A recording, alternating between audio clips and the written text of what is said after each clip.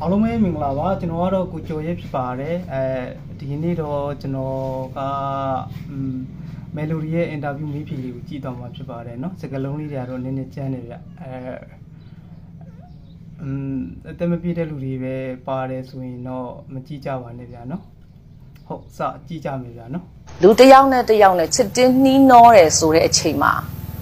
လှုပ်ဆောင်ရမယ့်အချက်တွေအများကြီးရှိတယ်။ဘာလို့ချစ်တင်းနှီးနှောတာလဲ sex မဟုတ်ဘူးပတ်စံပေးပြီးမိမကြောက်ကိုယာထားတာမဟုတ်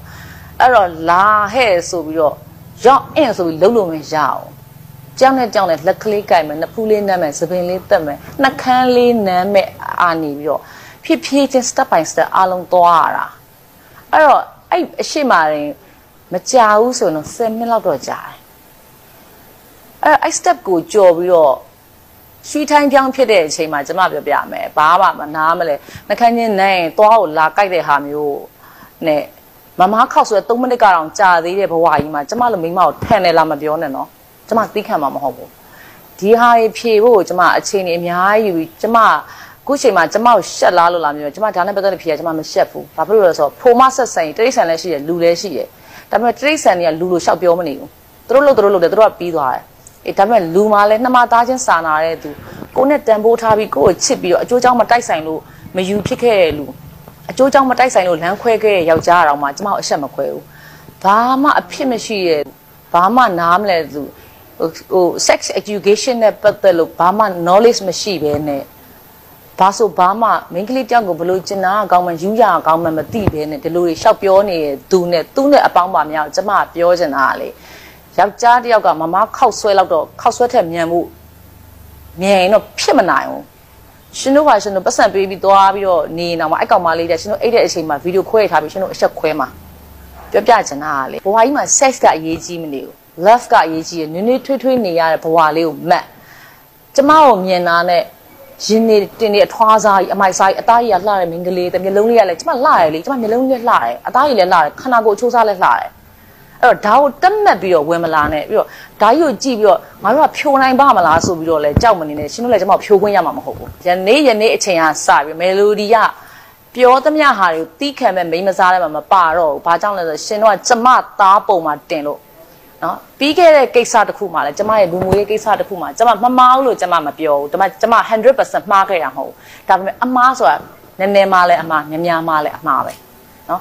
အဲ့ဒီအပေါ်မှာကျမရဲ့ဘဝကိုကျမအကောင်းဆုံးဖြစ်တဲ့အနေအေးကျမမှားခဲ့ရတယ် sex နဲ့ပတ်သက်လို့မှားခဲ့တာမဟုတ်ဘူးနော်ထပ်ပြောလိုက်ချင်တာအဲ့ဒါဒါကနေကသူတော်စင်းလားလာမပြောသူတော်စင်းတော့မဟုတ်ဘူးကျမအရွယ်ကောင်းသေးတယ်အခု42နှစ်ထိကိုအရွယ်ကောင်းတော့မှရှိသေးတယ်ဒါပေမဲ့ကျမမှာအုံနောက်ရှိတယ်ကျမခန္ဓာကိုယ်အစိတ်ပိုင်းအကုန်လုံးလှုပ်ရှားတယ်တခုတည်းပဲကွက်ပြီးလှုပ်ရှားနေရမှမမဟုတ်ဘူးကျမအုံနောက်ထဲမှာလည်းဒီအိတ်ရတဲ့ကိစ္စတခုတည်းနဲ့ပဲကျမရှင်သန်နေရမှာမဟုတ်ဘူးမိသားစုကိစ္စတာရေးနာရေးလူမှုရေး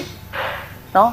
ဖျားချိန်ဖြစ်သူကတရားချိန်တရားနဲ့သွားနေတာ ကိစ္စတစ်ခုတည်းပဲဘိုးထားပြီးတော့ရှင်သန်ပြီးအုံနောက်ထဲမှာဒီ sex တစ်ခုနဲ့ရှင်သန်နေလို့ဟုတ်မနေအဲ့တော့တခုခုပြောချင်ယနေ့ချင်းရှင်ကစပြီးတော့ melody ကငါတို့ပြောရင်ရမှာပဲလို့တော့မထင်နဲ့ပြီးတော့ဒီခု interview ဖြေတဲ့အပေါ်မှာကြိုက်တဲ့အပိုင်းကနေကွက်ပြီး throw လို့ရပါတယ်ကြိုက်တာကိုပြောလို့ရပါတယ်လူတိုင်းကျမကိုချစ်ဖို့ကျမမမျှော်လင့်ပါဘူးချစ်တော့ဝမ်းသာတာပေါ့ရှင်တခုခုဖြေဆိုတာခလေးတုံးကလိုမျိုးတော့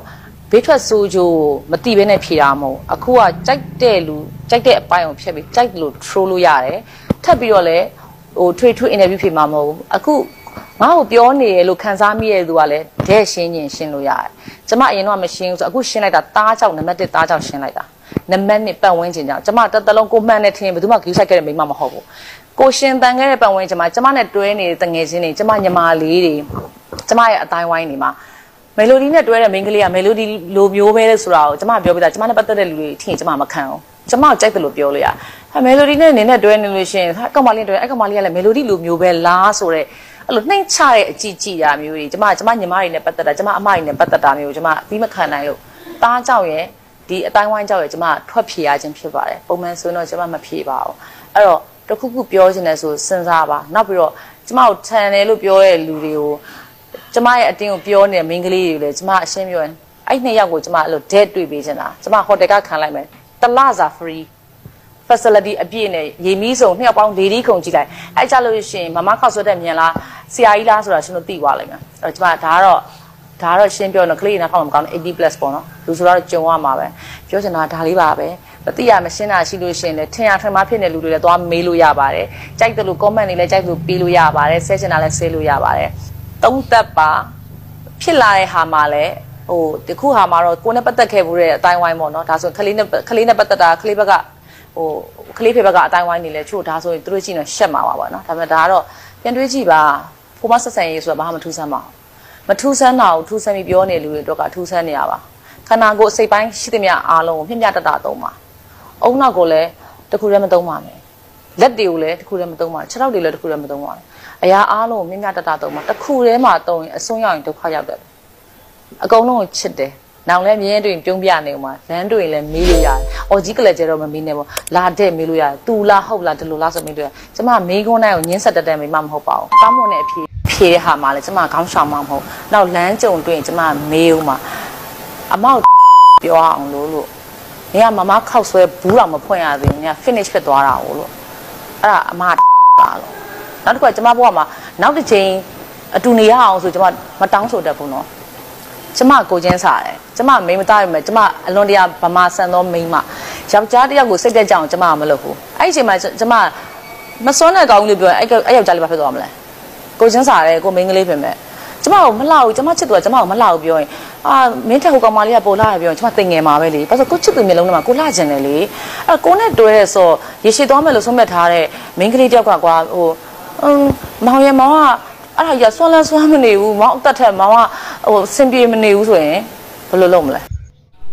ဟုတ်ကဲ့ပါဒီကနေ့ဗီဒီယိုလေးကတော့ဒီလောက်ပါပဲဗျာเนาะအားလုံးကိုကျေးဇူးတင်ပါတယ်ဗျာဟုတ်နောက်ဒီလေကျွန်တော်ရဲ့ဗီဒီယိုလေးကို like ပြီးတော့ကြည့်ပေးကြပါအောင်ဗျာเนาะ ဘာလို့ဆောင်းတဲ့